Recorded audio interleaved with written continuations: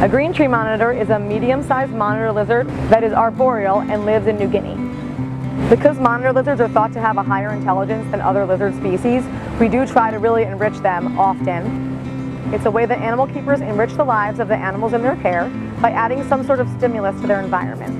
And the goal of that stimulus is either to spark a natural behavior or to give the animal some kind of control over their environment by giving them a choice. Monitors in general have higher motor skills than some of the other lizard species. And so one of the ways we utilize their special skills is by offering them this log with holes in it so they can not only feed using their mouth, but also use their forelimbs to extract prey.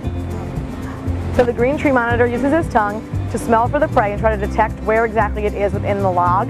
And then he uses his eyes to visually confirm that there is prey within the hole, which he then tries to extract with his forelimb.